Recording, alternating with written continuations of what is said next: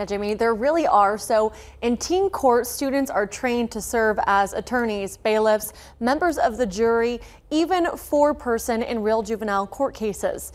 This is an alternative sentencing program to help teens charged with crimes to avoid jail time.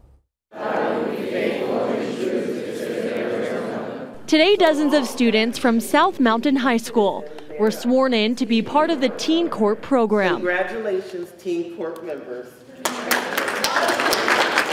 They're learning to be a part of the law in a positive way versus a negative way. Teen Court has been part of the curriculum here at South Mountain for years. Students get to step into their very own courtroom and listen to real life cases. Anytime an infraction happens in the school, then those kids can be referred by the administrators to the school teen court program versus going into the real juvenile court program. It's a diversion option to give kids with nonviolent misdemeanors community service or other options. To face a jury of their peers, kids their own age, something they wouldn't get in a traditional system. We do this for restorative justice to help others and we get experience in the in the process. A second chance for kids accused of crimes to avoid jail time and a criminal record.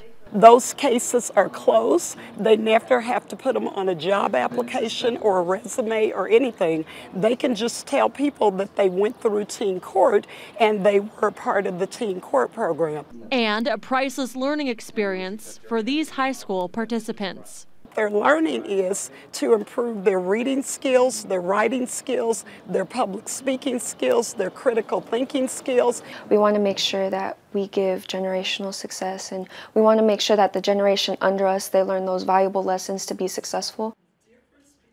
What age range is this really for? So this is for uh, kiddos 8 to 17 years mm -hmm. old, um, and it's obviously pretty impactful for those teens. Yeah. I mean, they get that real life experience, and it provides uh, alternative options for those right. in the uh, in the juvenile system. Sitting in the courtroom must feel something for sure. Oh yeah, yeah, yeah. and it was very cool to yeah. see. I mean, it looked just like a, a smaller courtroom, right. so it was very cool to be in there.